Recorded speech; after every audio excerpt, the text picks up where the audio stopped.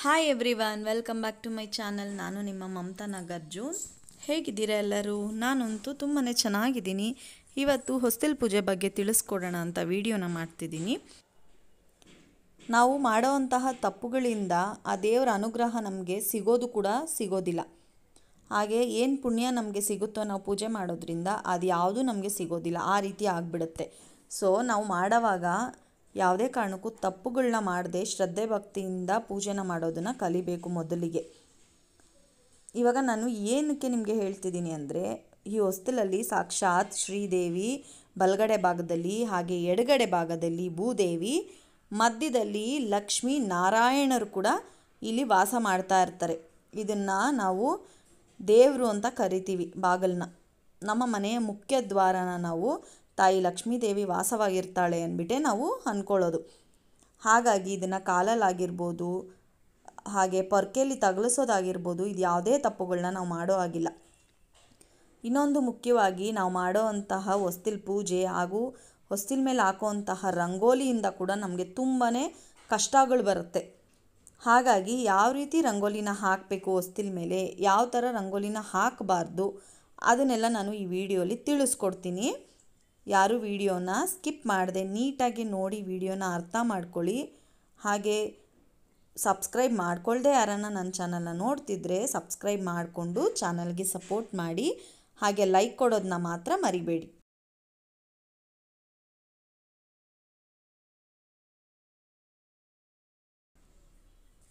ಇಲ್ಲಿ ನಾನು ಶುದ್ಧವಾಗಿರೋಂಥ ಅರ್ಶನ ತಗೊಂಡಿದ್ದೀನಿ. ನೀವು ಕೂಡ ಇದೇ ರೀತಿ ಅರ್ಶನ ತಗೊಳ್ಳಿ. ಯಾವುದೋ ನೆನ್ನೆ ಮಿಕ್ಕಿರೋದು ಅರ್ಶಿನ ಕಲಸಿಟ್ಟಿದ್ದೆ, ಇನ್ನೂ ಸ್ವಲ್ಪ ಮಿಕ್ಕಿದೆ. ಅದೇ ಅರ್ಶಿನ ತೊಗೊಂಡು ಹಚ್ತೀನಿ. ಆ ಥರ ತಪ್ಪುಗಳನ್ನ ಮಾಡಬೇಡಿ. ಫ್ರೆಶ್ಶಾಗಿ ಕಲಿಸ್ಕೊಂಡು ಹೊಸ್ತಿಲ್ ಪೂಜೆ ಮಾಡಿ.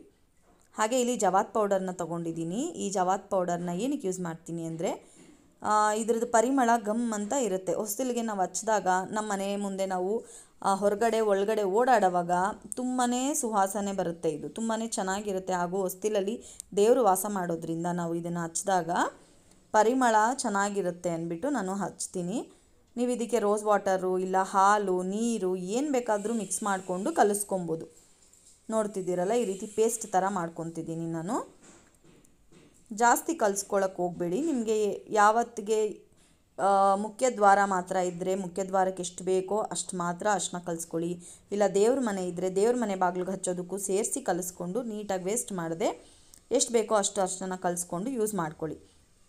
ದಿನನಿತ್ಯ ಹಚ್ಚೋರಿಗೆ ಗೊತ್ತಿರುತ್ತೆ, ನಾವು ಎಷ್ಟು ಹಾಕ್ಕೊಂಡ್ರೆ ನಮಗೆ ಸಾಕಾಗುತ್ತೆ ಅಂದ್ಬಿಟ್ಟು. ಮುಖ್ಯವಾಗಿ ಮೊದಲಿಗೆ ನಾನು ಹೇಳ್ತಿದ್ದೀನಿ, ಯಾವ ರೀತಿಯಾಗಿ ತಪ್ಪುಗಳನ್ನ ಮಾಡ್ತೀವಿ ಅಂದರೆ ಹೊಸ್ತಿಲನ್ನ ನಾವು ಯಾವ ರೀತಿಯಾಗಿ ತೊಳಿಬೇಕು ಅಂದ್ಬಿಟ್ಟು ತಿಳಿಸ್ಕೊಡ್ತೀನಿ ನೋಡಿ. ನಾವು ನಮ್ಮ ಕೈಯಾರೆ ಶುದ್ಧವಾಗಿರೋ ನೀರು ತಗೊಂಡು ಹೊಸ್ತಿಲನ್ನ ತೊಳೆದ್ರೇ ನಮಗೆ ಸಿಗೋವಂತಹ ಪುಣ್ಯ, ಫಲ ಏನಿರುತ್ತೋ ಅದೆಲ್ಲ ನಮಗೆ ಪ್ರಾಪ್ತಿಯಾಗುತ್ತೆ ಇಲ್ಲ ಅಂದರೆ ಖಂಡಿತವಾಗ್ಲೂ ನಮಗೆ ಸಿಗೋದಿಲ್ಲ.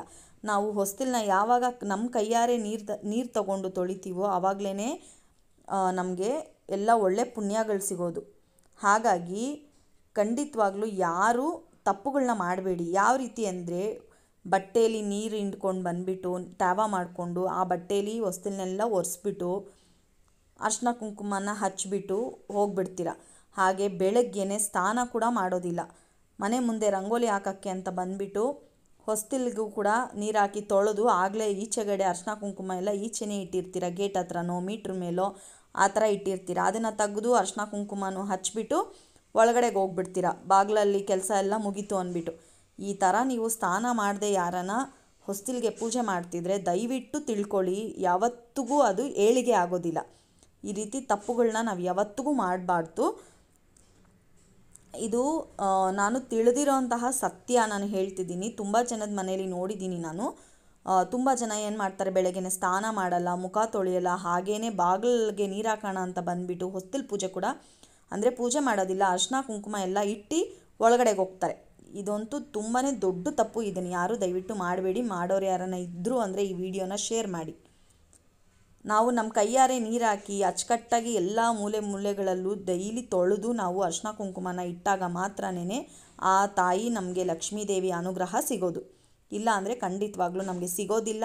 ಆಗೋ ಕೆಲಸಗಳಾಗೋದಿಲ್ಲ ಎಲ್ಲ ಅಡ್ಡಿ ಆತಂಕಗಳೇ ಆಗ್ತಿರುತ್ತೆ. ಕೆಲಸ ಕಾರ್ಯದಲ್ಲೆಲ್ಲ ವಿಘ್ನಗಳಾಗ್ತಿರುತ್ತೆ ನಿಮ್ಮ ಮನೆಯಲ್ಲೂ ಆಗ್ತಾ ಇರುತ್ತೆ. ನೀವು ಯಾರನ್ನ ಸ್ನಾನ ಮಾಡದೆ ಆಗಿರ್ಬೋದು, ಇಲ್ಲ ನೀಟಾಗಿ ಕೈಯಲ್ಲಿ ನೀರು ತಗೊಂಡು ತೊಳಿದೆ ನೀವು ಪೂಜೆ ಮಾಡೋ ಅಂಥವ್ರಾಗಿದ್ದರೆ ಖಂಡಿತವಾಗ್ಲೂ ನೀವು ಅಬ್ಸರ್ವ್ ಮಾಡಿ ನೋಡಿ ನಿಮ್ಮ ಮನೆಯಲ್ಲಿ ಎಲ್ಲ ಕೆಲಸ ಕಾರ್ಯಗಳು ನಿಮಗೆ ಅಡ್ಡ ಆಗ್ತಾ ಇರುತ್ತೆ. ಯಾವುದೂ ಬೇಗ ಬೇಗ ಆಗಬೇಕು ಅಂದ್ಕೊಂಡಿರೋ ಕೆಲಸಗಳು ಆಗೋದಿಲ್ಲ. ಹಾಗೆ ನಿಮಗೆ ಎಷ್ಟೇ ದುಡಿದ್ರೂ ನಿಮ್ಮ ಮನೇಲಿ ದುಡ್ಡು ನಿಲ್ಲೋದಿಲ್ಲ. ನಿಮ್ಮ ಮನೇಲಿ ಎಷ್ಟೇ ದುಡ್ಡು ತೊಗೊಂಡು ಬಂದ್ರೂ ಅದೆಲ್ಲ ಹಾಗೆ ಖರ್ಚಾಗ್ತಾ ಐತೆ.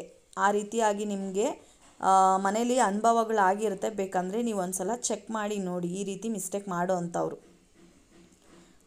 ರಂಗೋಲಿನ ಯಾವ ರೀತಿಯಾಗಿ ಹಾಕಬೇಕು ಅಂದ್ಬಿಟ್ಟು ಈಗ ತಿಳಿಸ್ಕೊಡ್ತಾ ಇದ್ದೀನಿ.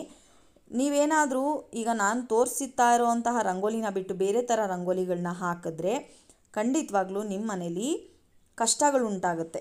ಹಾಗಾಗಿ ನಾನು ಪೂರ್ತಿಯಾಗಿ ತಿಳಿಸ್ಕೊಡ್ತಾ ಇದ್ದೀನಿ ನೋಡಿ. ನಾನು ಕೂಡ ಮುಂಚೆ ರಂಗೋಲಿನ ಹಾಕ್ತಾ ಇದ್ದೆ ಬೇರೆ ರೀತಿ. ಆಗ ನಮ್ಮ ಮನೇಲೂ ಕಷ್ಟಗಳನ್ನ ನಾನು ಸಾಕಷ್ಟು ಅನುಭವಿಸಿದ್ದೀನಿ. ನಾನು ಒಬ್ಬರಿಂದ ಈ ಥರ ರಂಗೋಲಿನ ಹಾಕೋ ಆಗಿಲ್ಲ ಅಂತ ತಿಳ್ಕೊಂಡೆ ನಾನು.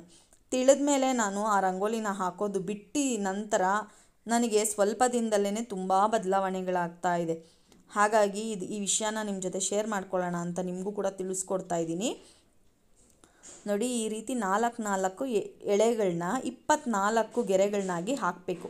ನೋಡಿ, ಈ ಕಡೆ ಹನ್ನೆರಡು ಹಾಕಿದ್ದೀನಿ, ಈ ಕಡೆ ಹನ್ನೆರಡು ಹಾಕಿದ್ದೀನಿ. ಈ ರೀತಿ ಹನ್ನೆರಡು ಹನ್ನೆರಡು, ಒಟ್ಟು ಇಪ್ಪತ್ನಾಲ್ಕು ಎಳೆಗಳನ್ನ ಹಾಕೋಬೇಕು. ಈ ಗೆರೆಗಳು ವಿಷ್ಣು ನೆಲೆಸಿರೋದ್ರಿಂದ ವಿಷ್ಣುವಿನ ಇಪ್ಪತ್ನಾಲ್ಕು ಕೇಶವ ನಾಮಗಳು ನಂತರ ನೋಡಿ, ಈ ರೀತಿ ಸ್ವಸ್ತಿಕ್ ಚಿಹ್ನೆನಾದರೂ ಹಾಕಿ, ಇಲ್ಲ ಅಂದರೆ ಯಾವುದನ್ನ ರಂಗೋಲಿ ಡಿಸೈನೇ ಬೇಕಾದರೆ ಹಾಕಿ, ಶಂಕು ಚಕ್ರ ಹಾಕಿ, ಸ್ಟಾರ್ ಹಾಕಿ ಯಾವುದನ್ನ ನೀವು ರಂಗೋಲಿನ ಹೊಸ್ತಲ ಮೇಲೆ ಹಾಕಿ.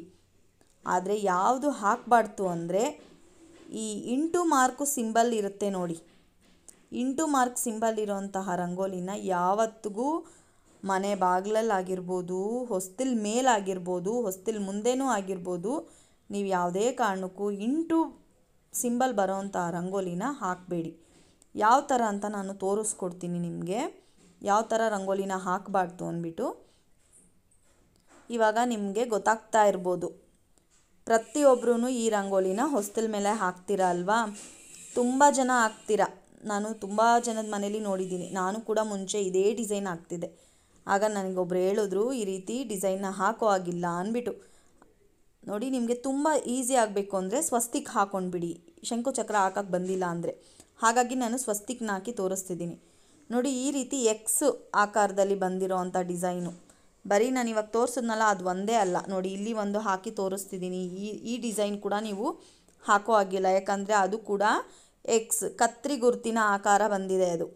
ಇದನ್ನು ನೀವು ಹಾಕೋ ಆಗಿಲ್ಲ ಕತ್ರಿ ಗುರುತಿನ ಆಕಾರ ನೀವು ಯಾವುದೇ ಡಿಸೈನ್ ರಂಗೋಲಿನ ಮನೆ ಮುಂದೆ ಇಲ್ಲ ಹೊಸ್ತಿಲಿಗೆ ನೀವು ಹಾಕಿದ್ರೆ ನಿಮ್ಮ ಮನೆಗೆ ಕತ್ರಿ ಬಿದ್ದಂತೆ. ಯಾವುದೇ ಕೆಲಸಗಳು ಮಾಡ್ತಿದ್ರು, ಎಷ್ಟೇ ದುಡ್ಡು ಬರ್ತಿದ್ರು, ಅದಕ್ಕೆಲ್ಲ ಕತ್ರಿ ಬೀಳುತ್ತೆ. ಹಾಗಾಗಿ ಈ ರೀತಿ ಇಂಟು ಸಿಂಬಲ್ಲು ಕತ್ರಿ ಗುರುತು ಇರೋಂತಹ ರಂಗೋಲಿನ ದಯವಿಟ್ಟು ಹಾಕಕ್ಕೆ ಹೋಗಬೇಡಿ.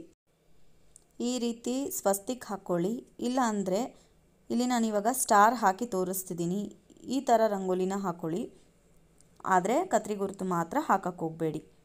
ಇನ್ನೂ ತುಂಬಾ ಹೆಚ್ಚು ಮಾಹಿತಿಗಳನ್ನ ಶೇರ್ ಮಾಡ್ತೀನಿ. ಇನ್ನು ಮುಂದೆ ಬರೋವಂಥ ನೆಕ್ಸ್ಟ್ ವೀಡಿಯೋಗಳಲ್ಲಿ ಮಿಸ್ ಮಾಡದೆ ವೀಡಿಯೋನ ಸಬ್ಸ್ಕ್ರೈಬ್ ಮಾಡಿಕೊಂಡು ನೋಡ್ತಾ ಇರಿ ಫಾಲೋ ಮಾಡ್ತಾ ಇರಿ. ಮುಂಚೆನೇ ಹೇಳ್ದಾಗೆ ಸ್ನಾನ ಮಾಡಿಲ್ಲದೆ ಪೂಜೆ ಮಾಡೋ ಹಾಗಿಲ್ಲ. ಹಾಗೆ ಕೈಯಲ್ಲಿ ಬಳೆ ಕೂಡ ಇಲ್ಲದೆ ಹಣೆಯಲ್ಲಿ ಕುಂಕುಮ ಇಲ್ಲದೇನೂ ಪೂಜೆ ಮಾಡೋ ಹಾಗಿಲ್ಲ. ದೇವ್ರಿಗೆ ಯಾವ ರೀತಿಯಾಗಿ ಸ್ನಾನ ಮಾಡಿ ಕೈಯಲ್ಲಿ ಬಳೆ ಹಾಕ್ಕೊಂಡೆ ಕುಂಕುಮ ಇಟ್ಕೊಂಡೆ ಪೂಜೆ ಮಾಡಬೇಕು ಅಂತ ಅನ್ಕೊತೀವೋ, ಅದೇ ರೀತಿಯಾಗಿ ತುಳಸಿ ಕಟ್ಟೆಗಾಗಿರ್ಬೋದು, ಹೊಸ್ತಿಲ್ಗಾಗಿರ್ಬೋದು, ನಾವು ಕೈಯಲ್ಲಿ ಬಳೆ ಅಟ್ಲೀಸ್ಟ್ ಎರಡೆರಡು ಬಳೆನಾದರೂ ಹಾಕ್ಕೊಂಡು ಪೂಜೆನ ಮಾಡಬೇಕಾಗತ್ತೆ. ಈ ವಿಡಿಯೋ ನಿಮ್ಮೆಲ್ಲರಿಗೂ ಇಷ್ಟ ಆಗಿದೆ ಅಂತ ನಾನು ಭಾವಿಸ್ತಿದ್ದೀನಿ. ಸೊ ಈಗಲೇ ಪ್ಲೀಸ್ ವಿಡಿಯೋಗೆ ಲೈಕ್ ಮಾಡಿ.